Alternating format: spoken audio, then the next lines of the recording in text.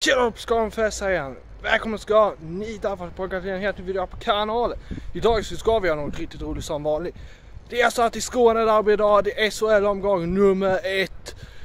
Den 14 september är det idag. Och såklart hoppas jag Rögle och grabbarna tar seger ikväll. Mina tippningar ikväll är, jag har två tips. Det är 3-2 till Rögle efter övertid och då är det Rodrigo Arbols som sätter det avgörande målet i förlängning. Sen har jag också 5-0 till Rögle efter efter eh, 6 minuters matchspel och på ordinarie tid. Så om ni gillar videon får ni jättegärna tumma upp det. Ni får också kommentera något undra. Det viktiga är att ni prenumererar på notisklockan för att inte missa fler hockeyvideos på kanalen. Så ses vi helt enkelt i Katenaria mot IF Malmö Redhawks. Vi ses!